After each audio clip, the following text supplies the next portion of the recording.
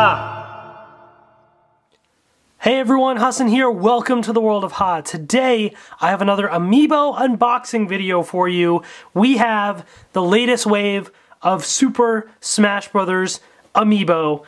I don't even know what wave this is. Uh, you'll find out in the title of this video, but I mean, the waves, the numbers over the years, I, I have to I can't even keep track anymore. But this is the first wave of Amiibo that features some of the newcomers to Super Smash Bros. Ultimate, and that is Inkling and Ridley, but it also features Wolf as well, uh, returning to the game, which is super cool. So I want to do an unboxing. These have actually been out for uh, a few weeks now. Um, I'm late to doing this unboxing. I already pre-ordered these, and so I had them sitting around. I just never got around to filming the video.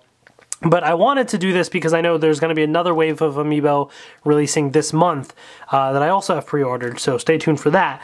But before that, we have these three right here. So um, they're continuing the similar style packaging that uh, the the amiibo have always had, which has got like the character featured on it. It's the Super Smash Brothers, um, and then in the background behind the character, it says the name of the character, like Inkling. You can see Ridley in the back, Wolf. Um, the difference is in the past they had boxes for the American uh, versions of the amiibo and then boxes for the Japanese version. So the names would be in American or Japanese. Uh, the amiibo are the same, they're region free, but the boxes were different.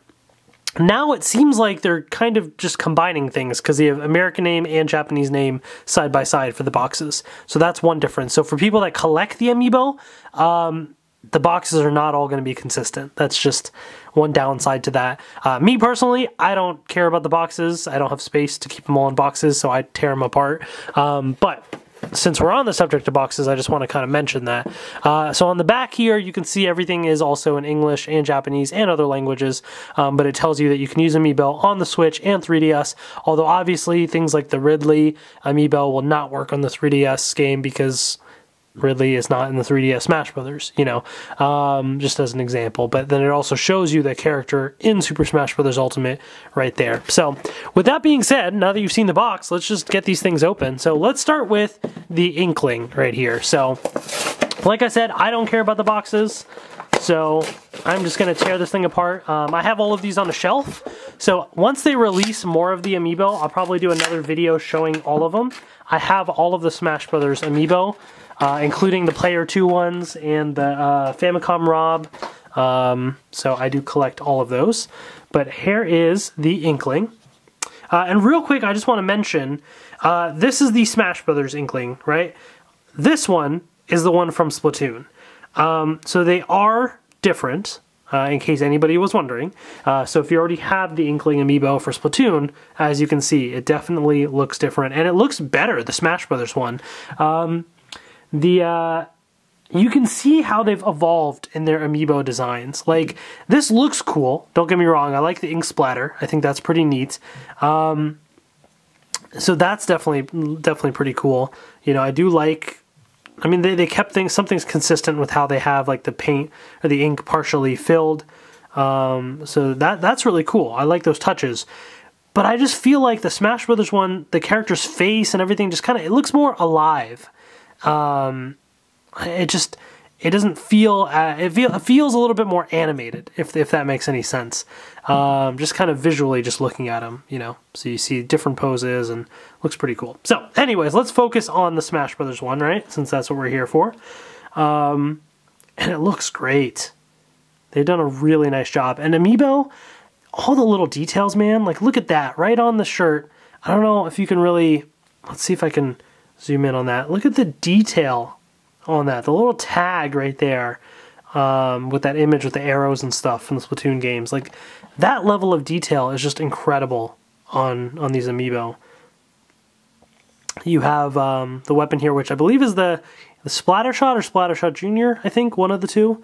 Um, look at the sneakers. Just the detail on that, man so good. Uh, you can obviously see the ink filling up right here, partially filled. Um, yeah, I mean, they just did a phenomenal job with all the little intricacies of the character. So, really looks great. Um, and all of the Smash Bros. Amiibo have the Smash logo on the base right there with the gold, so that is consistent as well. So very, very nice touch. Um, and uh, so they released, it's basically the Inkling Girl, which is also the main version of the Inkling in Super Smash Bros. Ultimate. If you want to change it to the boy, you have to actually go to one of the alts. Um, so they just stuck with this one. I don't know if in the future they'll release any of the alts um, as uh, Amiibo. They've rarely done that. Uh, we only have, what, three player two uh, Amiibo? And then if you count Famicom Rob or not. Um, so I don't think they will, but I would buy it. I think it'd be cool. But regardless, I think this this Inkling looks really neat and uh, definitely worth checking out. Uh, let's jump to Wolf next right here. Let's see how uh, how this one is. I can already tell there's some great detail on him.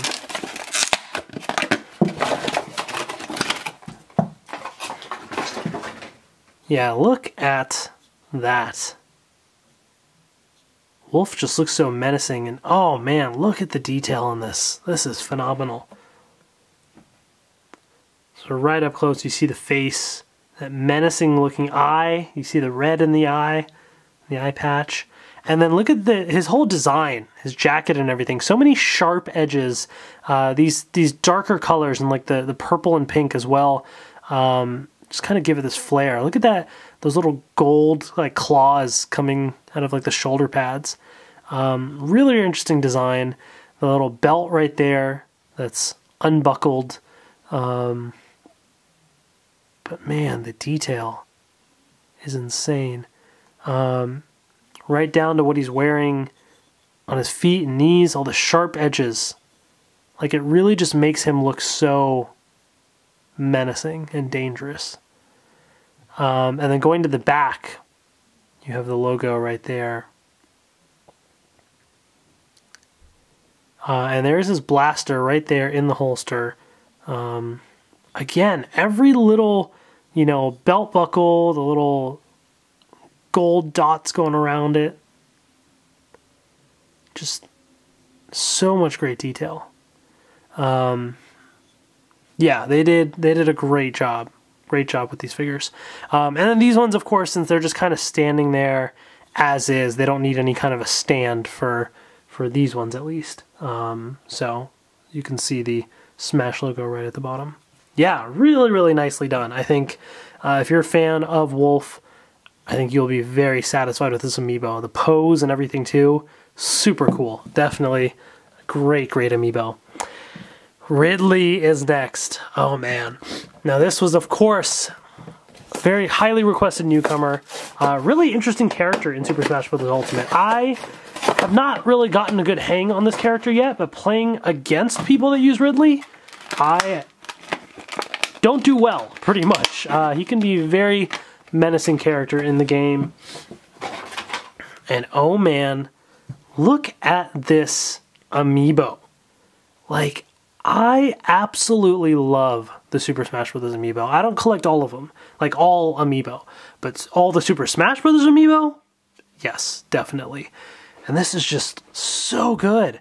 I mean, one, they, they capture some of the scale of the characters well. Because look, Ridley is huge, right? And they had to kind of scale him down a little bit in the game to get him to fit with the characters. But even still, you can kind of see how just the, the wings, everything, like how he's kind of the tail, like it just seems more, it just seems so much larger, uh, probably than he actually is in comparison, but he just seems big.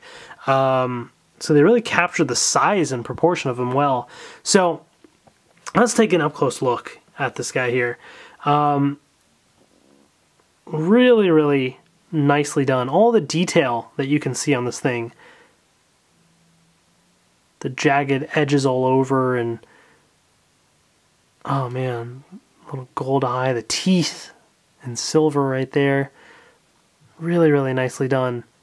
His whole body, little accents of pink there as well. Um, the claws, sharp edges and stuff here too, right? I mean, he just looks so menacing. Um, and of course, you have the wings. Um, which have this uh, cool little design on them as well. So these are a little more smooth. Uh, so they really have a nice texture which matches you know, the, the different parts of the body as well.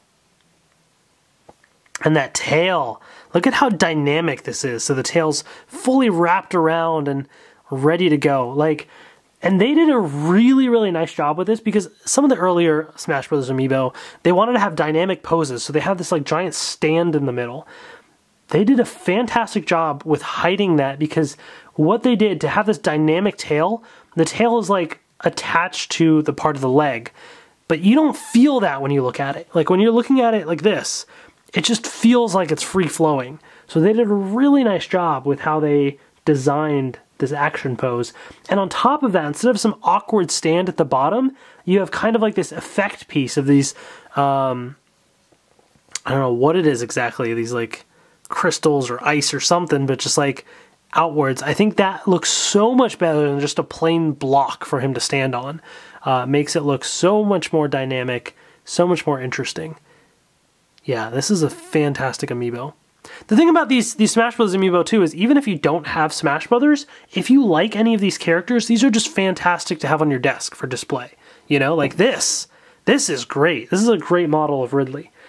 But the fact that you can also use it in the game uh, and fight against a Ridley uh, figure player is just is awesome. So um, they did a really really nice job with with with all of these amiibo. I would say.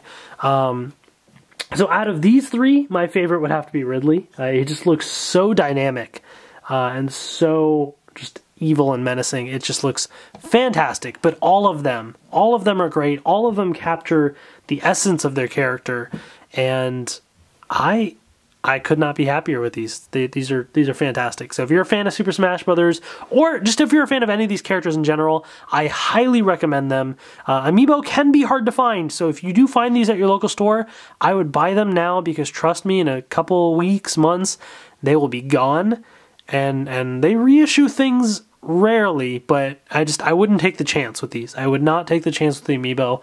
Find them if you can and get them. Um, I, I, definitely recommend it. So, hopefully you enjoyed this video. Let me know in the comment section below what you think of these three amiibo. Um, I do have uh, some other amiibo reviews coming, uh, including more Super Smash Bros. amiibo when they release soon, so stay tuned for that. Thank you all so much for watching. Take care, and I will see you later.